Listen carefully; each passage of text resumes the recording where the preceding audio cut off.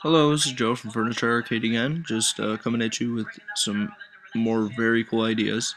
Uh, we put together some really cool ideas for headboards um, at our website, Furniture Arcade. I wrote an uh, article on it, so I left the link in the description for that. If you're interested in implementing headboards like this, you can head over to the website, which the link is in the description.